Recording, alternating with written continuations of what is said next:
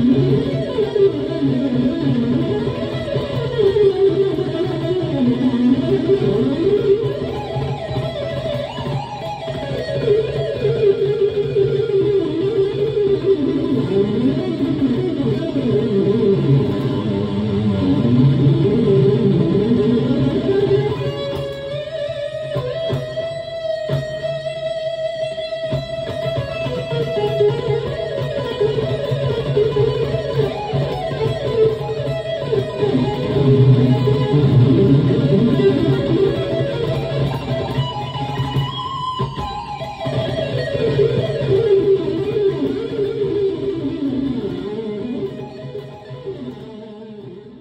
はい、破壊系ギタリスト DDG です。超絶ギター道場へようこそ。えー、実は風邪をちょっとね、ひいてしまいまして、声ね、少し出るようになってきたんですが、ずっと声が出なかったので、超絶ギター道場、お休みしていました。と言ってもね、先日ちょっとライブ配信をさせていただいたんですが、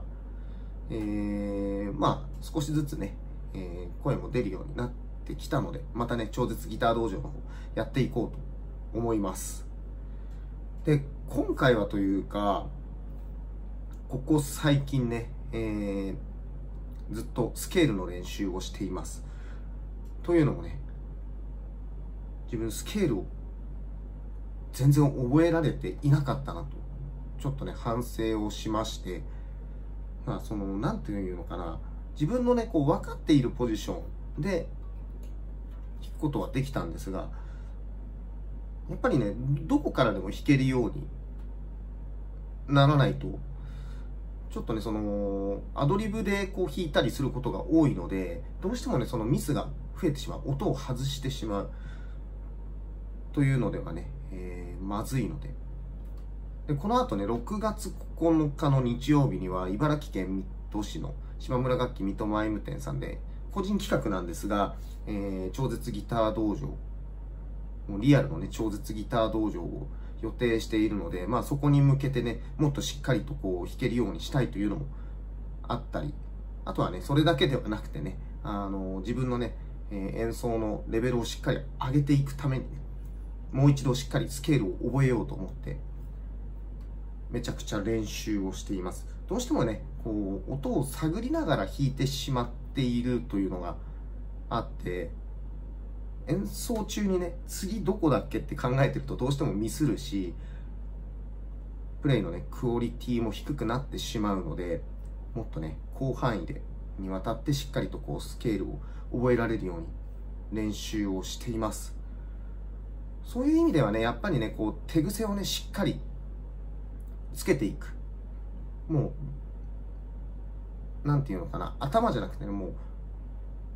手が勝手にこう動くぐらいのね、えーもう本当に手癖にしっかりしていく。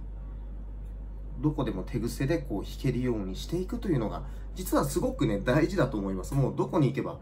もう、どの音が出るのかっていう、もう頭でちゃんと考えなくてもね、もう勝手にこう手が覚えてくれるぐらいのところまで持っていかないと、自分のようなスタイルで、アドリブでね、こう、超絶弾きまくるというのはなかなかね、難しいかなと、最近ね、えーもう一度ちょっとね、えー自分を見つめ直して、しっかりと練習をしています。まあ先ほどね、お話ししたライブでね、あの、ひどい演奏を聴かせるわけにもいかないので、まあ、そこもね、含めて、しっかりと練習していこうと思っています。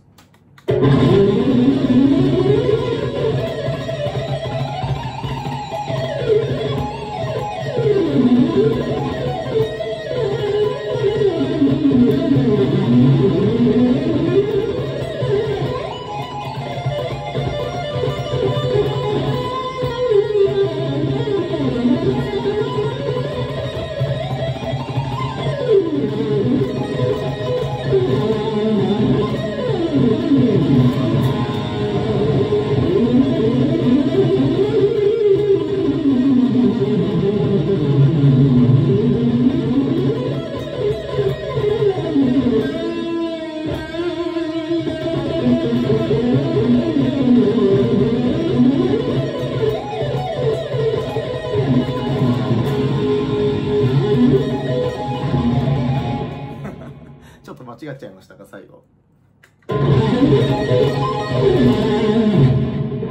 こうやりたかったんですけれどもね。えー、まあ本当にね、まだまだしっかり練習をね、しないといけない状態ですので、え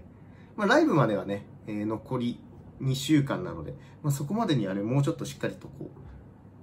仕上げられるようにね、していこうと思います。まあもちろんそのライブに限らずね、えーもっともっと